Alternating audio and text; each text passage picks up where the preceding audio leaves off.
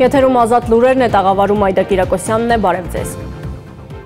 Հայաստանի արտգործնախարար Արարատ Միրզոյանն այսօր Մյունխենում հանդիպում է ունեցել Սաուդյան Արաբիայի ԱԳ նախարար Ֆայսալ բին Ֆարհան Ալ Սաուդի հետ։ Զրուցակիցները մտքեր են փոխանակել Հայաստանի եւ Սաուդյան Արաբիայի միջև հարաբերությունների գործակցության հաստատման հերանեկարների շուրջ, պատրաստակամություն հայտնելով աշխատանքներ իրականացնել երկու երկրների միջև բազմակողմ օրակարգերի ձևավորման գործում։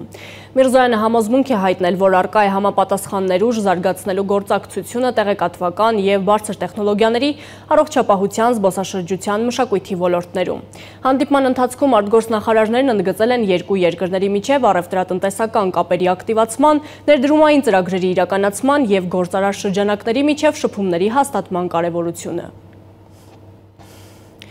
Ադրբեջանի պաշտպանության նախարարությունը շարունակում է պարբերաբարը պատեղեկատվություն տարածել հայ-ադրբեջանական սահմանի այս կամ այն հատվածում Հայաստանի զինված ուժերի կողմից ադրբեջանական ստորաբաժանումների մարտական դիրքերի ուղությամբ կրակ բացելու վերաբերյալ, նկատում է Հայաստանի պաշտպանության նախարարությունը։ Նշում, որ մասնավորապես փետրվարի 18-ի ուշ երեկոյան Ադրբեջանի պաշտպանական գերատեսչությունը հաղորդագրություն է տարածել պնդելով, թե նույն օրը մեր ստորաբաժանումները կրակ են բացել հայ-ադրբեջանական սահմանի հյուսիս-արևելյան հատվածում տեղակայված ադրբեջանական մարտական դիրքերի ուղությամբ։ Հայաստանի պաշտպանության նախարարությունն Ադրբեջանի պաշտպանության նախարարությանը կոչ է անում ձեռն պահ մնալ սահմանային իրադրության վերաբերյալ իրականությանը չհամապատասխանող տեղեկություններ տարածելու գործելավոճից, ինչը ոչ մի կերպ չի նպաստում հայ-ադրբեջանական սահմանին կայունության հաստատումը։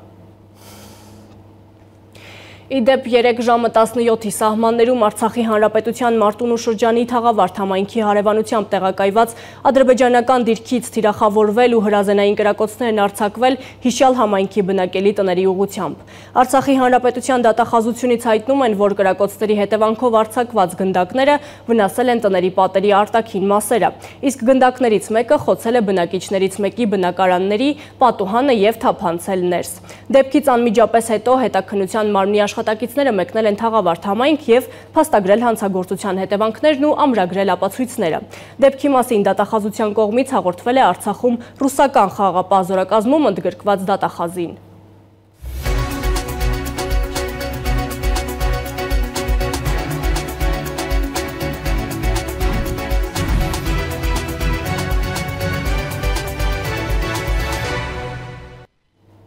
Երևանյան մանկապարտեզներից մեկում երեխայի նկատմամբ խոշտանգում իրականացնելու վերաբերյալ լուրը շարունակում է հանրության ուշադրության կենտրոնում մնալ։ Երեխայի մայրը հաղորդում էր ներկայացրել ոստիկանություն այն մասին, թե մանկապարտեզի դայակներն ու դաստիարակները 2019 թվականից մինչև 2021-ի ավարտը իր երեխային ֆիզիկական ցավ եւ հոգեկան տառապանք են պատճառել։ Երեխային բռնության ենթարկելու համար մեղադրվող դայակին կալանավորելու միջնորդություններ ներկայացվել դատարան։ Ավելի շուտ քնչական կոմիտեից Free News-ին հայտնել էին, որ դատարանը ոչ իրավաչափ է ճանաչել դայակի կալանքի միջնորդությունը, որպես խափանման միջոց ընտրվել է ստորագրություն չհեռանալու մասին։ Բոլորովին վերջերս երեխայի մայրը լրատվամիջոցներից մեկին տված հարցազրույցում վստահեցրել էր, որ իր երեխային մանկապարտեզում ձիու պես հեծնել են, պարան կապել վզին եւ այլն։ Մանկապարտեզնի մյուս երեխաների ծնողները զայրացած են պնդում են, որ կինը կամ հոգեկան խնդիրներ ունի, կամ այլ նպատակներ։ Նրանք վստահ են, որ մանկապարտեզում նման բան լինել չէր կարող։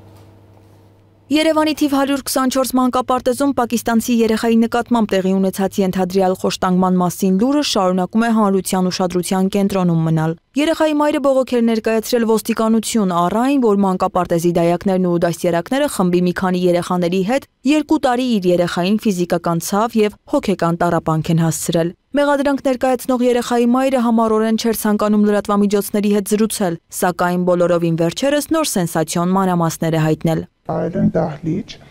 կապել այնտեղ ուրեմն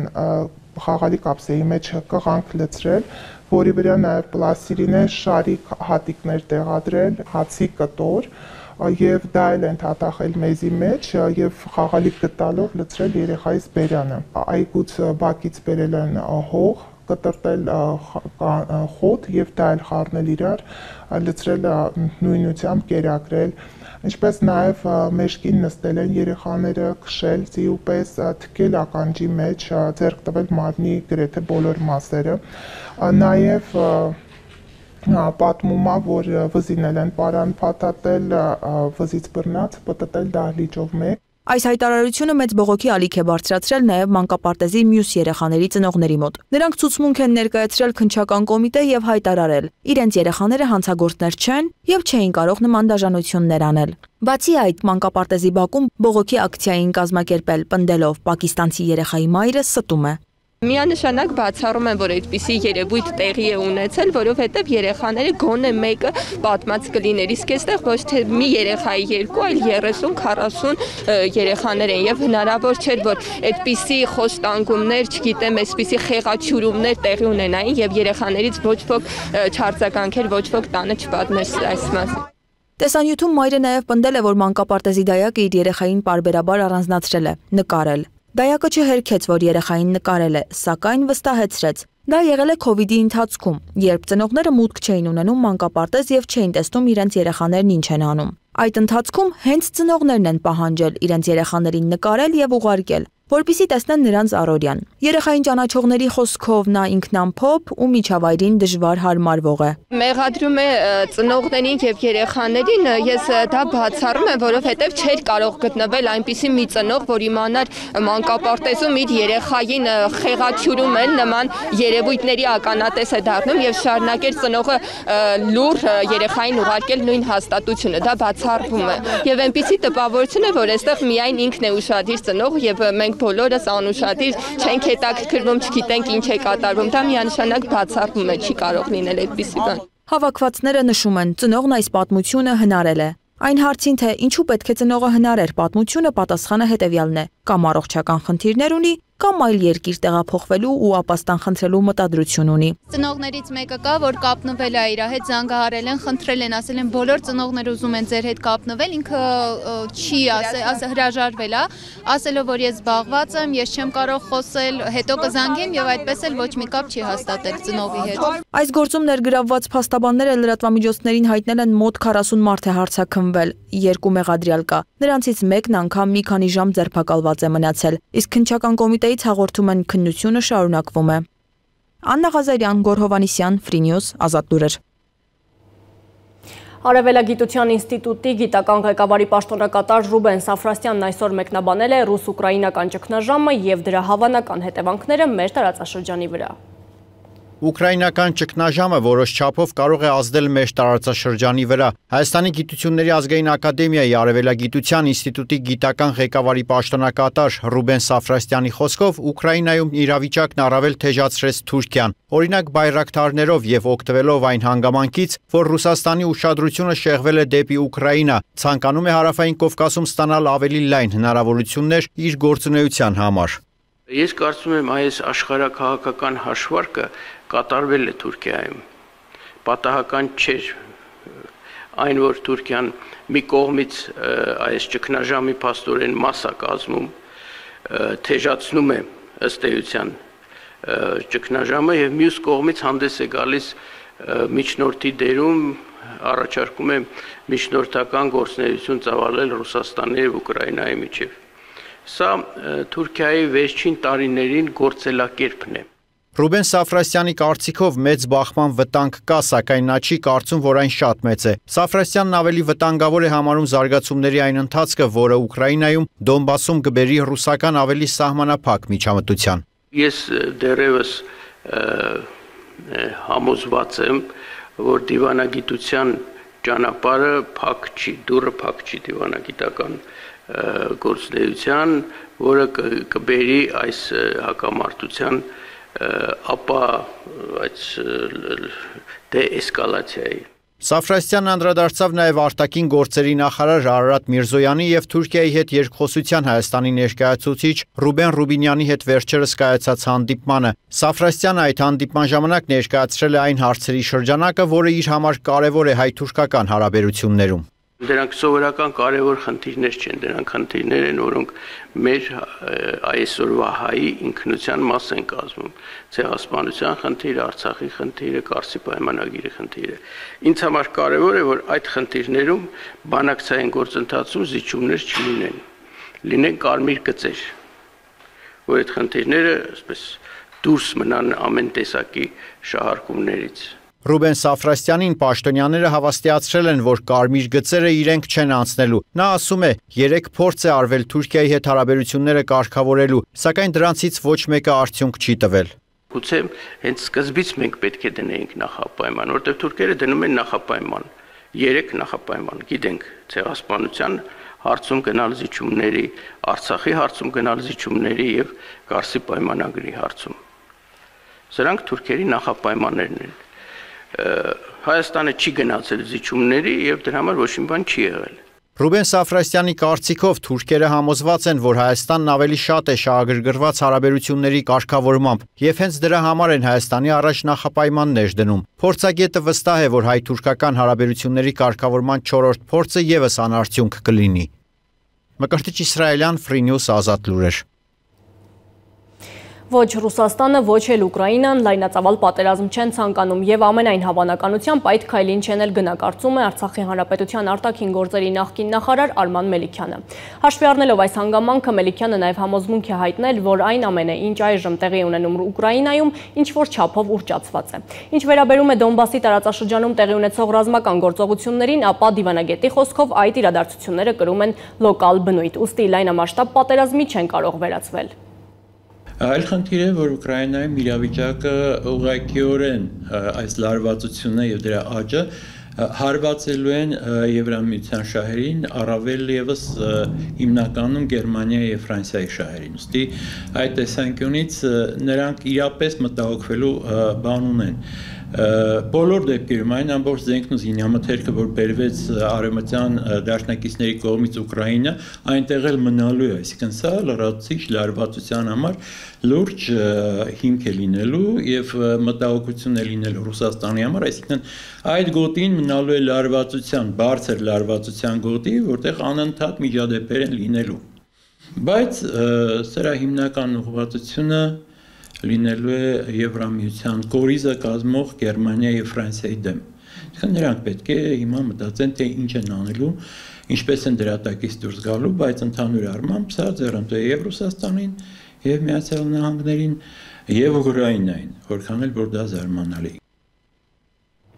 Անցնենք միջազգային դերահոսին, որի առանցքում կրկին ռուս-ուկրաինական հակամարտությունն է։ Այնինչ տեղի ունենում Դոնեցկում ու Լուգանսկում հուզում է ոչ միայն հակամարտող երկու կողմերին, այլև ամբողջ աշխարհին։ Հատկապես, որ վերջին օրերին կատարվող իրադարձությունները հուշում են, եթե ոչ մոտալուտ պատերազմի, ապա առնվազն զինված բախումների մասին։ Չնայած Ռուսաստանը փետրվարի 16-ին չներխուժեց Ուկրաինա, ինչպես կանխատեսում էին արևմտյան երկրների հետախուզական ծառայությունները, սակայն այդ օրից հետո իրավիճակն էլ ավելի թեժացավ։ Իսկ երեք ռուսական լրատվամիջոցները սկսեցին հայտնել Դոնբասից կանանց ու երեխաներին Ռուսաստան տարհանելու մասին։ Դոնեցկի ինքնահռչակ ժողովրդական հանրապետության կրթության ու գիտության նախարարությունը կարգադրել է դադարեցնել ուսումնական գործընթացը բոլոր կրթական հաստատություններում։ Իդեպ ՆԱՏՕ-ն կրկին կոչ է անում Ռուսաստանին զորքերը հեռացնել ուկրաինական սահմաններից։ Հյուսիսատլանտյան դաշինքի ղեկավարը հայտարարել է, որ իրենք վերահաստատում են Ռուսաստանին արված առաջարկը քննարկումներ իրականացնելու սովորական ու միջուկային սպառազինության հետ կապված ռիսկերի նվազեցման ու դրանց նկատմամբ վերահսկողության տնտեսության թեմաներով։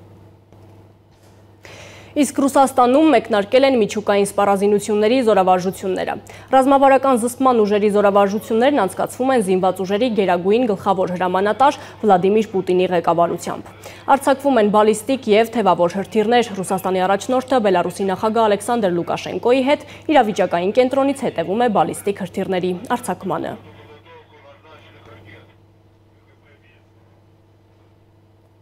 Միջազգային մյուս լուրերը դիտեք տեսաշարով։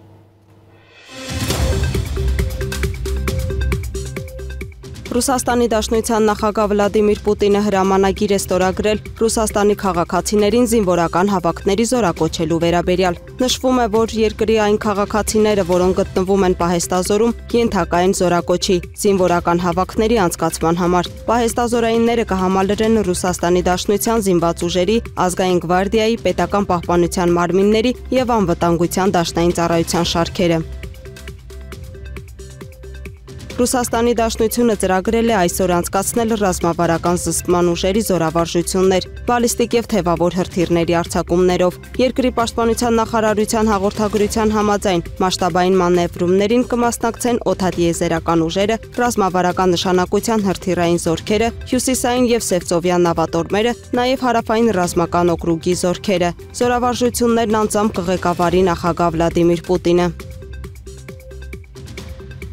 Պաշտոնական Կիևն ու Լուգանսկի եւ Դոնբասի իշխանությունները մեղադրում են միմյանց շփման գծում զորքերի տեղաշարժերի ռազմական սադրանքների դիմելու համար։ Ըստ որոշ աղբյուրների սադրանքները հանգեցրել են տեղային ռմբակոծությունների եւ պայթյունների։ Գերմանիայի եւ Ֆրանսիայի արտգործնախարարները դատապարտել են Դոնբասում շփման գծի երկայնքով բնակելի շրջանների գնդակոծություններն ու ծանր սպառազինության կիրառումը։ Նշվում է, որ Ուկրաինայի անվտանգության ուժերը Դոկուչաևսկ բնակավայրը գնդակոծել են Մինսկի համաձայնագրերով արգելված ականանետերից։